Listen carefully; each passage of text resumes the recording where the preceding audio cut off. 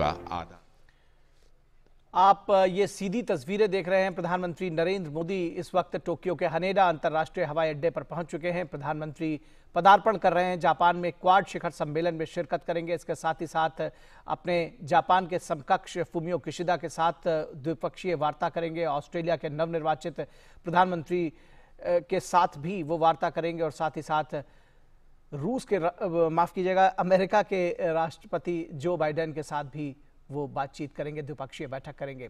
तो हनेडा, अंतर्राष्ट्रीय हवाई अड्डा जो कि टोक्यो में है, वहाँ पहुँचे हैं प्रधानमंत्री नरेंद्र मोदी और उनकी अगवानी करते हुए इस वक्त जापानी दल। ये सीधी तस्वीरें आप देख रहे हैं। टोक्यो से हनेडा अंतर्राष्ट्रीय हवाई अड्डे पर प्रधानमंत्री नरेंद्र मोदी दो दिवसीय दौरे के लिए पहुँच चुके हैं।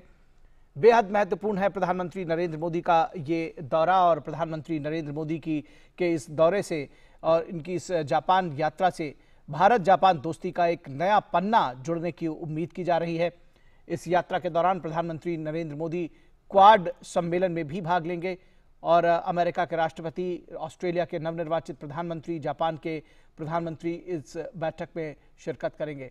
तो प्रधानमंत्री नरेंद्र मोदी दो दिवसीय यात्रा के लिए आज और कल